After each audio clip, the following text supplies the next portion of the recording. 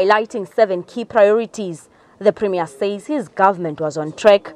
These priorities included job creation, economic growth, and providing access to quality education. Economic turnaround stemmed from agriculture and small businesses.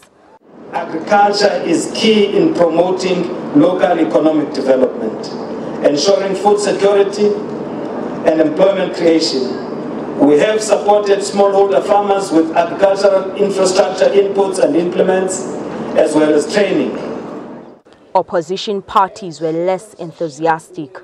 So I was coming to hear what the Premier was going to say about the relationship between education and SADTU. He said nothing about that, and that is where the real crux of the problem is. We need inspectors in our schools to make sure that SADTU teachers and all teachers are in classroom teaching on time. We had thought that he was going to say that there is a feasibility study presently that is happening to check where are the areas that have got a lot of land underground, a lot of um, water underground, so that people that are, have come here, they can know that in their areas there's going to be boreholes that will address the issue of, of, of, of, of, of, of water.